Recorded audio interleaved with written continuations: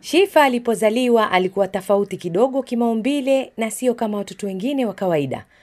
Alizaliwa pia akiwa na matatizo ya kiafya yanayoambatana na hali yake ya kimaumbile, jambo lililomtia mamake dhiki, wasiwasi na mshtuko mkubwa alipoelezwa kuwa mwanawe ana maradhi ya Down syndrome au trisomy 21.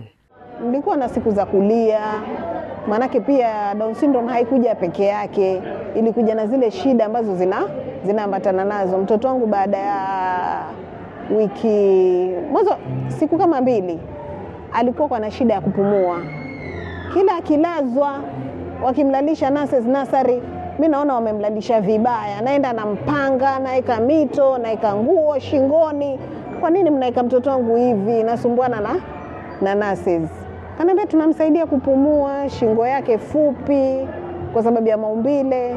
Sasa na mara nyingi ni kama analala shingo ikiwa juu. Malezi ya Shifa siyo ya kawaida kwa sababu anakuwa polepole na yamekuwa yenye changamoto nyingi kutokana na hali yake kiafya, lakini familia yake inaendelea kumuuguza Shifa ili aweze kufanikiwa kama watoto wengine maishani. Alhamdulillah, yani milestone amesongea sana, yani ameweza kutembea, ijapokuwa kutembea kwake kulichukua muda. Alitembea na miaka saba.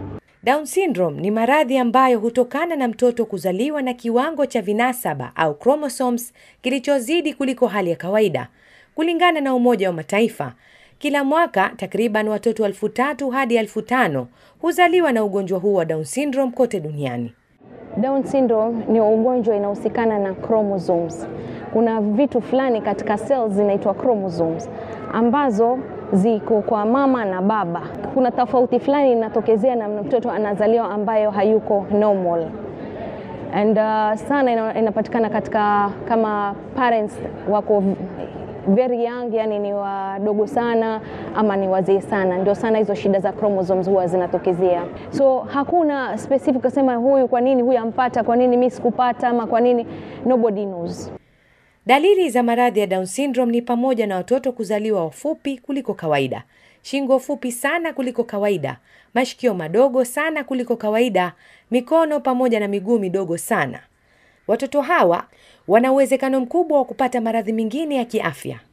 Wanazaliwa kama wako na um, maumbile ambayo tofauti na watoto wengine, na utakuta wote wana sura ambazo zinafanana macho zao ambazo ziko slanting, uh, pua yao kidogo hii bridge yao iko flat. Ukiangalia kichwa chao huku nyuma iko flat, wanakuwa na na ish, shida, shida kidogo za macho. Wataalamu wa afya wanasema ugonjwa huu hauna tiba na ni wa kudumu kwa mgonjwa, lakini kuna matibabu yanayoweza kudhibiti dalili mbalimbali mbali za maradhi haya ya Down syndrome.